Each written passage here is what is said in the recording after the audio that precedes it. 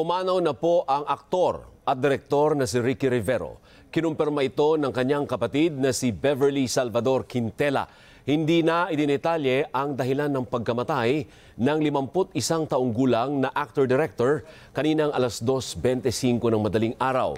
Pero una nang naibalitang na stroke siya noong Mayo.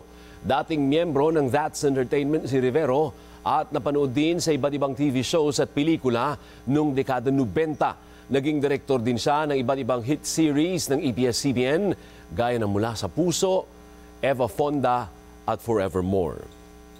Tuloy-tuloy po ang ating pagpapatrol sa bayan mula lunes hanggang biyernes sa TV Patrol. Alas 6.30 ng gabi hanggang Sabado at Linggo sa TV Patrol Weekend. Sa bago nitong oras, alas 5.30 ng hapon.